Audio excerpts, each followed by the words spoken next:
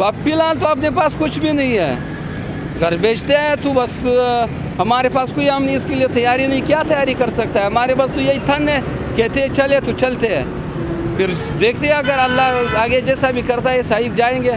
दूसरा, हमारे पास कोई ऑप्शन नहीं है इसके असल मसला ये है कि अगर गवर्नमेंट हमको यहाँ रहने दिया तो रह जाएँगे। क्योंकि हमारा सारा बचपन यहाँ पे रह चुका है ना, चालीस साल से। अगर गवर्नमेंट ने यही कहा कि नहीं फैसला हो चुका है तो हम अल्हम्दुलिल्लाह राज़ी है बिल्कुल। पाकिस्तान ने हमारे साथ बहुत एहसान किया अल्हम्दुलिल्लाह। अल्लाह का लाख लाख शुक्र हम फिर जाएँगे। अपना मुल्क अभी अल्हम्दुलिल्लाह उधर भी अमन आया हुआ है। यकीन सर यकीन अल्लाह के ऊपर कर मैंने एक ड्राइवर था और उसकी माँ जो था मैंने उसको हामी किया किया हुआ था। लेकिन उसको मैंने बताया मैं तो हम लोग तो जा रहे अल्लाह की कसम में कहता हूँ मीडिया के सामने कहता हूँ उन उस बाजी ने मैंने उसको माँ कह रहा था उसने रोने शुरू कर ये हम लोग इतना सुना है तो गैर कानूनी आजकल तो जा रहे हैं ना वहाँ से बादर तक ये लोग जा रहे हैं, वहाँ तक मेरा ख्याल में अफगान गवर्नमेंट में नहीं है। गाड़ी पे बंदोबस्त किया हुआ है, हम लोग ऐसा सुन रहे हैं गाड़ी बंदोबस्त किया हुआ है। अभी जो भी गैर कानूनी है, वो तो जा रहा है, लेकिन वहाँ पर तो बर्फ़ वगैरह तो है, हम लोग तो याद तो है, वतन तो वतन होता है ना। सर, हमारा मोहल्ले पे छापे लग रहा था ताकि हम लोगों के घर के लिए कोई परेशानी नहीं हो जाए, हम लोग खुशी करके आया। पर्ची मर्ची जो है ना वो सबूत कानूनी तौर हम लोगों ने बनाया। जो सब पहले सरकार ने कोई सा सबूत हम लोगों को दिया वो भी सब हम लोगों के साथ है।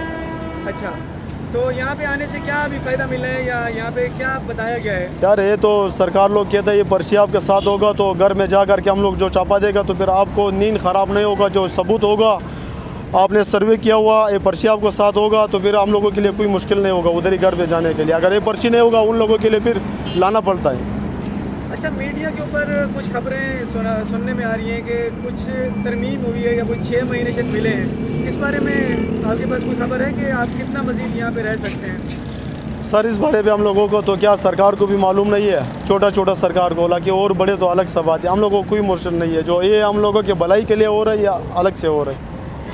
अच्छा सर अफ़गानिस्तान के बारे में बताएँ कि आप वहाँ कितनी दफ़ा जा चुके हैं या उस उसके बारे में क्या मालूम है? सर मेरा पैदाइश कोयटे का हूँ और 20 साल से ज़्यादा मैंने कराची पे गुजारा हुआ। कराची का हर शहर मुझे मालूम है और हम लोग तो ये नहीं कह रहे जो अपने मर्ज़ी से हम लोग चले जावे। वहाँ पे तो हम लोगों का दिल नहीं कर रहे।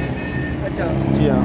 अच्छा जैसे फॉर एग्जांपल के अगर ये डिसाइड हो जाता है कि मजबूरन आपको जाना पड़ता है वैसे तो आपका दिल भी नहीं कर रहा होगा, यहाँ पे जो आपके दोस्त बने होंगे, वो लोग भी चाहते होंगे कि आप रुकें, लेकिन अगर हुकूमत की तरफ़ से ये फैसला आता है तो वहाँ जाने के बाद पाकिस्तान को मिस करेंगे आप। क्यों नहीं करेगा? सर, मुल्क जो है ना, माँ की जैसे होती है। हम लोगों ने माँ की गोद में पाला हुआ, पूरा ज़िंदगी इसी जगह पे गुजारा हुआ। और माले के आगे अगर हम लोग जाएगा तो मुश्किल के सामने कुछ दिन होगा।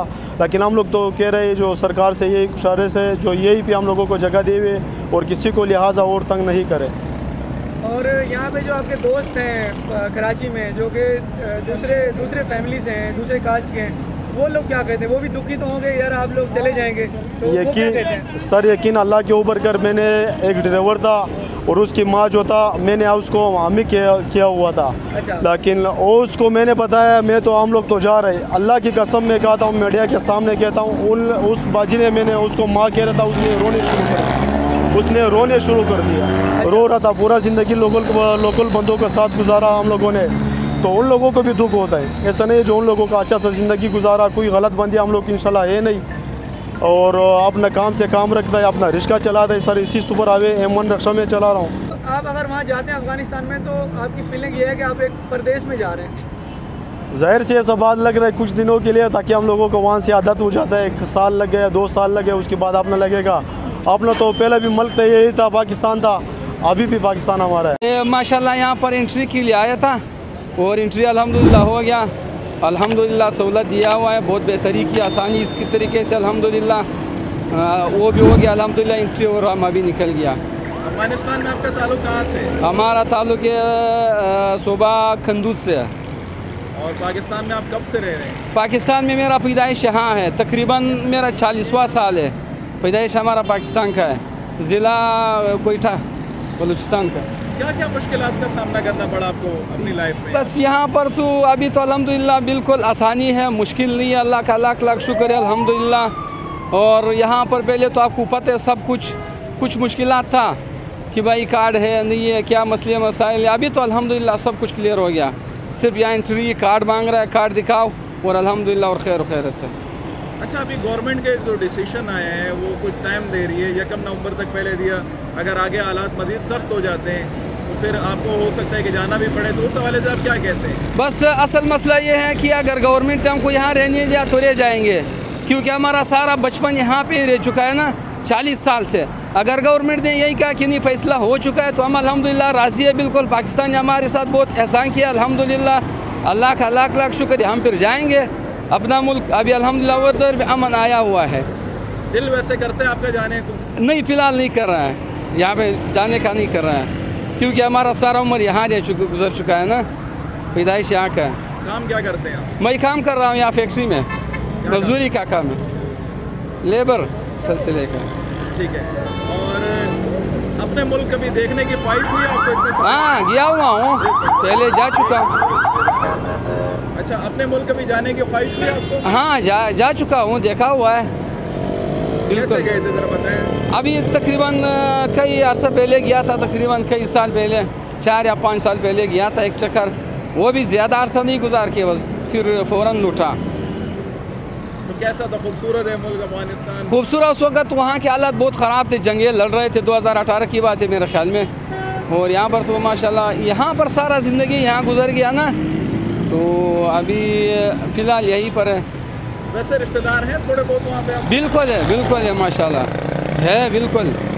रिश्तेदार है। वीडियो में बता दें कि अफ़गानिस्तान में पाकिस्तान में रिश्तेदार हैं हाँ हाँ हमारा रिश्तेदार है उधर अफ़गानिस्तान में। बिल्कुल है। और एक बंदे के जाने का कितना खर्चा आ जाता है अफ़गानिस्तान सामान तो सामान वल्लाह आलम वो तो हमने नहीं ट्राई किया हुआ है। वैसे बंदा आम तौर पर अगर जाता है तो दस हज़ार भी आ सकता है पंद्रह हज़ार भी आ सकता है बीस भी आ सकता है। जैसा कि अगर आप वीआईपी गाड़ियों में जा रहे हो पाँच हज़ार टिकट है। अगर सस्ते वाले में जा रहे हो ढाई हज़ार टिकट है। वहाँ पर भी सही तरीका ही कार है। कुछ फैमिलियाँ गई हैं पाकिस्तान से अभी अफ़गानिस्तान हाँ बहुत सारे जा चुके हैं। वो जिसके पास कार्ड वगैरह ना हो तो वो लोग जा चुका है।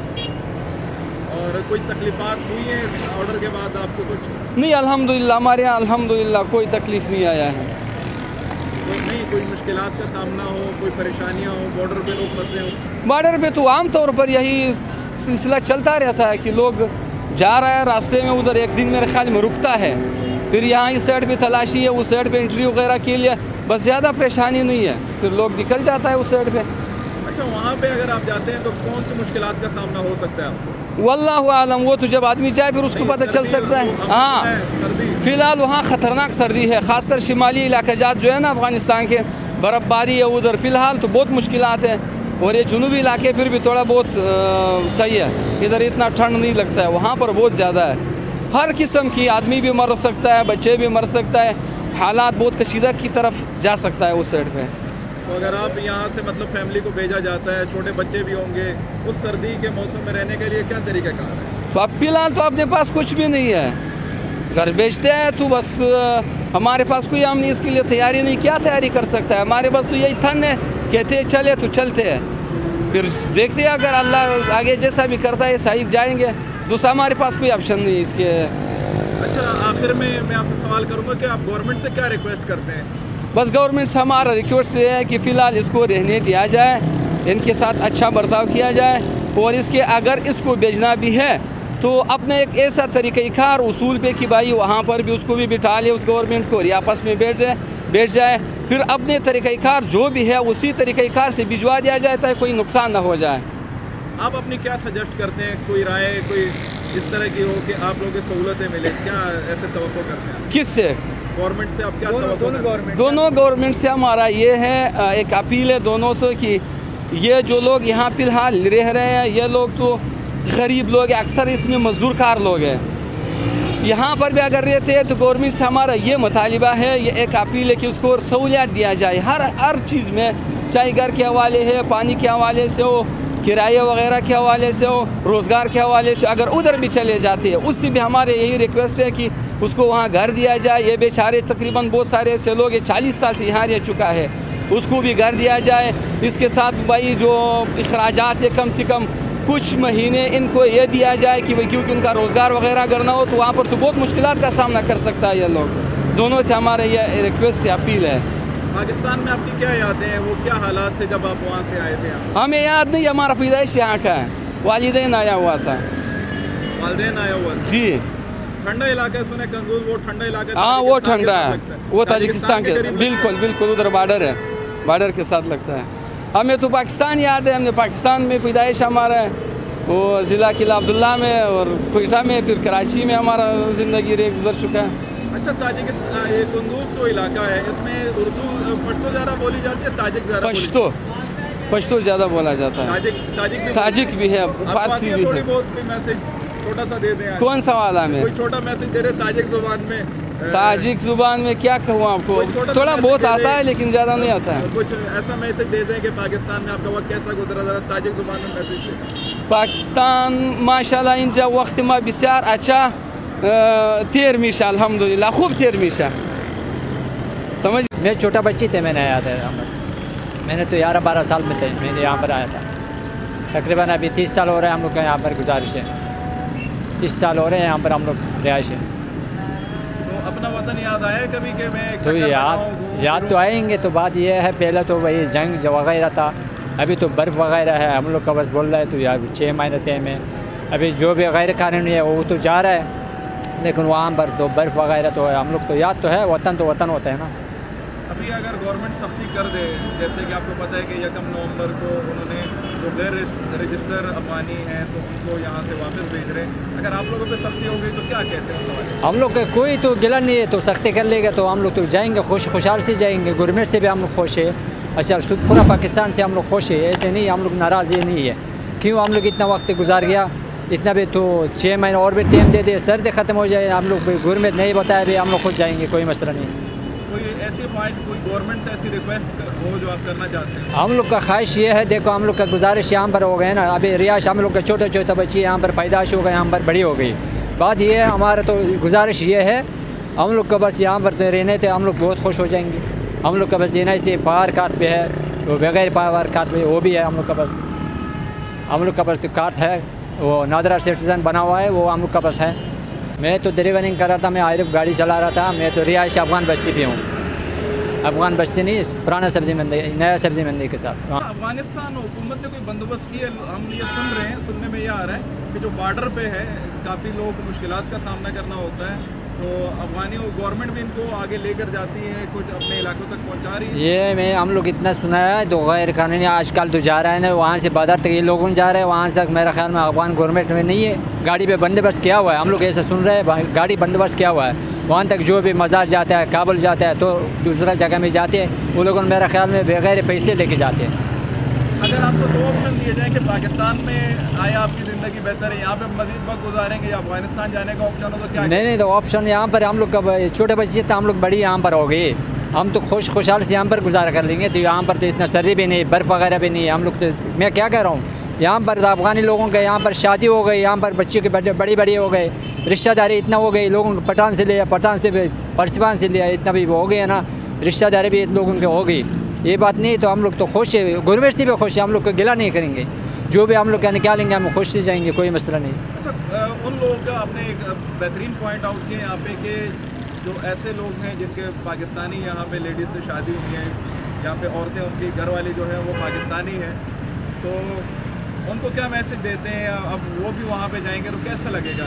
उसको तो बहुत मुश्किल हो जाएँगे ना। क्यों? उसको रिहाइश यहाँ पर था उसको बड़ी यहाँ पर हो गए उसको बर्फ़ भी देखा नहीं उसको सख्ती भी देखा नहीं अफ़गानिस्तान कैसे है कैसे नहीं उसको देखा भी नहीं। उसको तो बहुत मुश्किल पड़ेंगे। उसको तो बहुत मुश्किल पड़ेंगे ना। क्यों? हम लोग थे यहाँ पर ग्यारह बारह साल हो गए थे हम लोग छोटा बच्चे थे यहाँ पर आ गए। अभी हम लोग कहाँ जाएँगे? बहुत मुश्किल हो जाएँगे। वो तो यहाँ पर रिहाइश थे वो यहाँ पर बड़ी हो गई। वहाँ से तो बहुत मुश्किल होगा पाकिस्तानी गवर्नमेंट से क्या रिक्वेस्ट करते हैं? पाकिस्तानी गवर्नमेंट के हम लोग का ख्वाहिश ये है।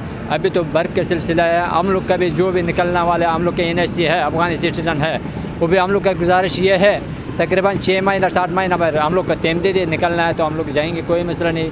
नहीं निकालेगा हम लोग गवर्नमेंट से बहुत खुश है। बिल्कुल हम लोग गवर्नमेंट